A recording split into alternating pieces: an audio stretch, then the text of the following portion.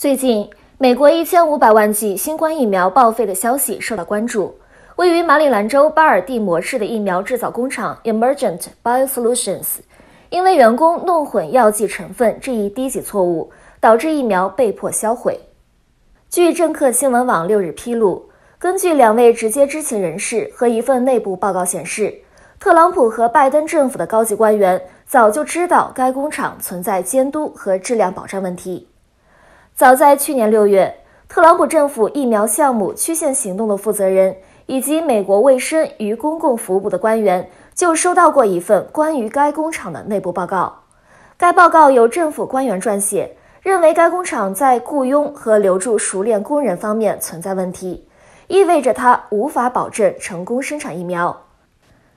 该报告被提交给特朗普政府的高级官员。此后，特朗普政府官员在过渡期间将这份报告以及曲线行动相关重要文件移交给了拜登团队。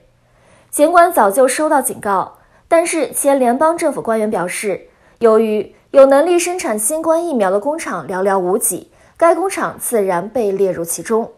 目前，白宫和卫生部尚未回应该报道。